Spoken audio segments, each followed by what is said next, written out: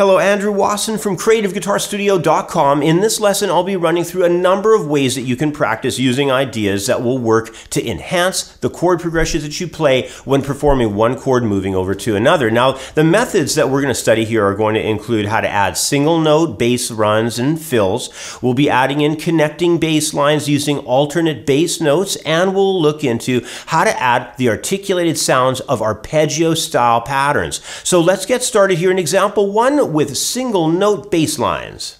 Here's example one. It's a simple rendition of a single note bass line drop down. Here's what it sounds like.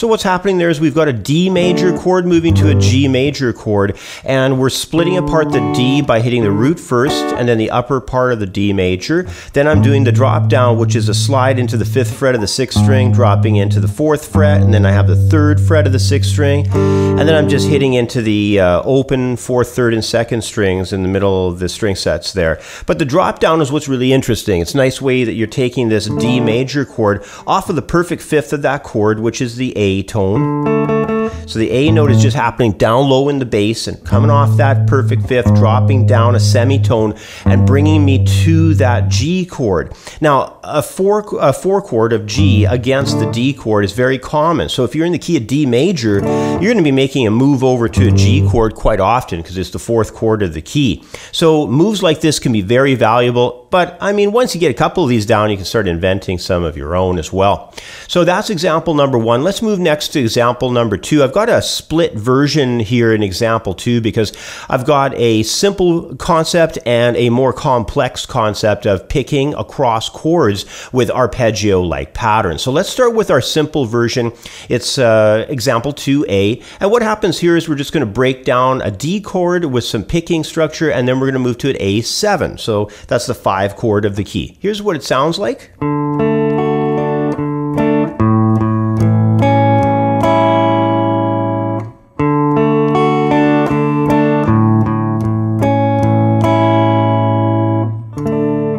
So what's happening here is I've got my D major chord. I'm breaking it apart by picking from the open fourth string to the third string, second fret A. Then I've got this high F sharp on top on the second fret, first string, and I'm going next into a D octave at the third fret of the second string. So I'm breaking that chord apart with bass tones into treble tones. Then what happens is I punch a power chord and then I punch two of the tones, the A and the D on the third and four, uh, third and second strings.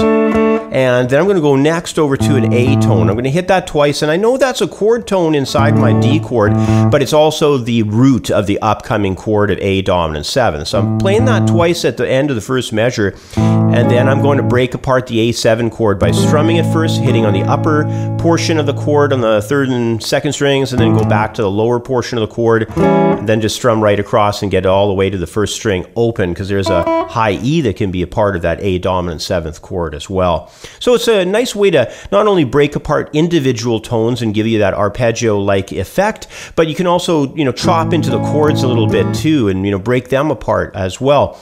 Now let's move to example number 2B, where we're going to get a little more complex with things.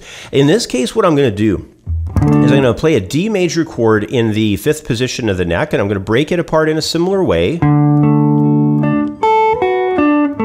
Very arpeggiated though. And then what I'm going to do next is I'm going to move into a more complex idea of adding in a passing chord of a B flat diminished. And I'm going to have the B flat diminished occur next, and that would be taking me into the five chord of A7. So what happens with the B flat chord is I'm going to chop it apart and really kind of have a nice broken sound out of it. So it's more complex because you know your your picking hand is going to have to be a little more accurate when you're doing this type of structure.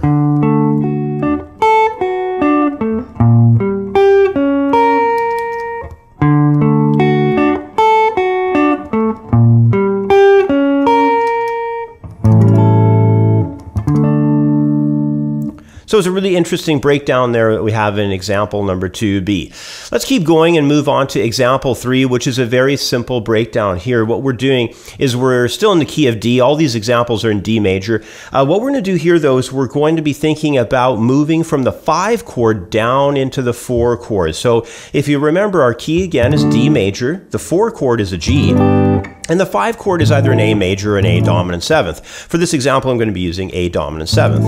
And what I'm going to do is a very simple process. I'm just going to take that 5 chord and I'm going to drop down by a sense of chromatic movement and then take me over to my 5 chord. And then what I can do after that is I can make a resolution. So I have again 5 chord, A dominant 7th, A flat dominant 7th, and then the G major. So anytime that you're in the key, you can go to the five chord, play it, drop down a semitone, play a dominant seventh there, and then play the uh, four chord. In this case, it's a G in the key of D major. And uh, then you can head back to your D chord if you'd like, or you could go back to the A chord in this case, go back to the five chord, and then head, head uh, back to the resolution of the root of the key. Uh, let me do that for you. So here's the five, drop down. There's the four chord, back to the five, and here's the root. So you can do some nice work in there with those drop downs between the five and the four chord in a key. Great idea to mess around with. Let's take a look at uh, the last example I have for you, example four. Here we're going to be doing a connecting bass line and have an alternative uh, bass note idea as well, basically an inverted chord. So let me break this down for you. It sounds like this.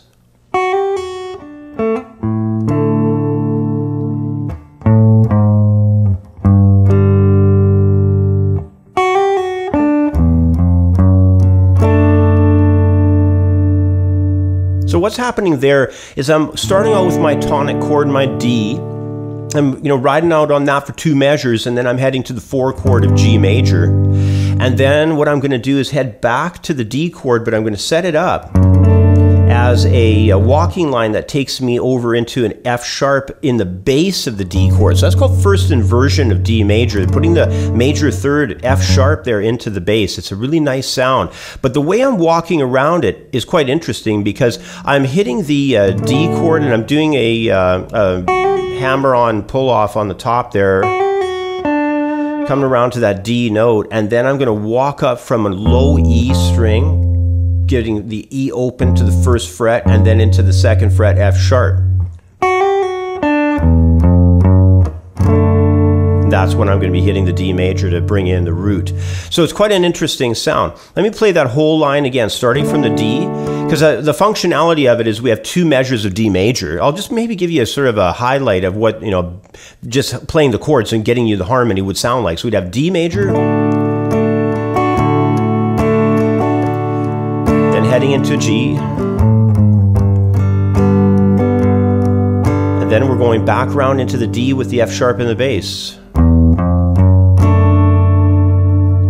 Now let's add in those little embellishments that are happening on the top as well.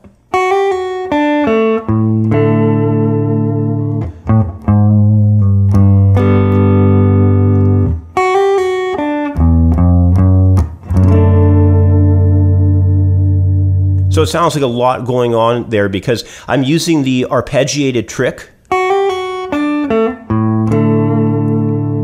Giving me that arpeggiated sound, breaking apart the D chord like we had discussed when we were doing examples uh, 2A and 2B. And now after that, I'm just, you know, using some walking bass line, and that was an idea that we had seen right in the beginning on example one taking me into that G chord. And then I'm going to do that little lick on top there again.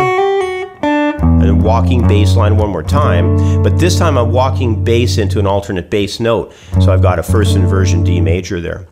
So it's kind of a example four is kind of a big time combination of a bunch of this stuff. But there's a lot of great ideas going on here, and they're easy to apply. And all you need to do is spend some time thinking about them, and you know maybe practice these examples to get you started. And then I'm sure you can be able to start inventing a lot of your own concepts with this idea as well. Well, I've got all these examples laid out for you in tabs so you can go and study each of these ideas over on my blogger site at creativeguitarstudio.blogspot.com.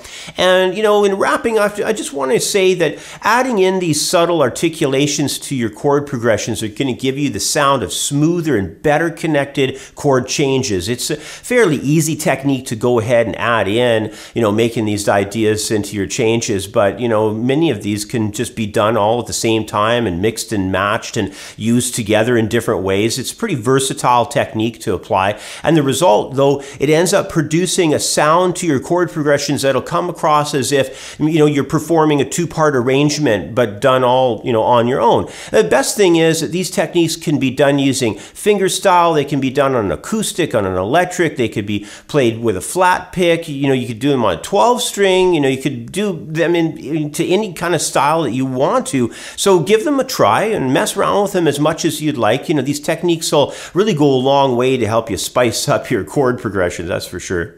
Well, as always, thanks for joining me. If you liked this video, please give it a thumbs up and subscribe for more. And remember to hit that bell when you subscribe so you never miss another one of my lesson uploads to YouTube. Until next time, take care and we'll catch up again on the next video. Bye for now.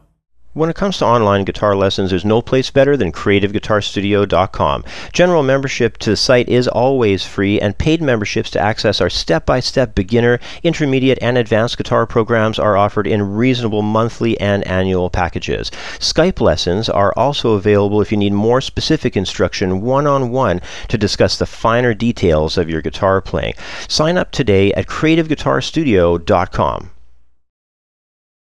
I've got 25 years experience teaching guitar and have written a well-organized step-by-step guitar course. Head over to my website at creativeguitarstudio.com and sign up for a free membership today. Join the thousands of members worldwide who have already enrolled. There's no need to try learning the guitar on your own. Let me help you become the best guitar player that you can be.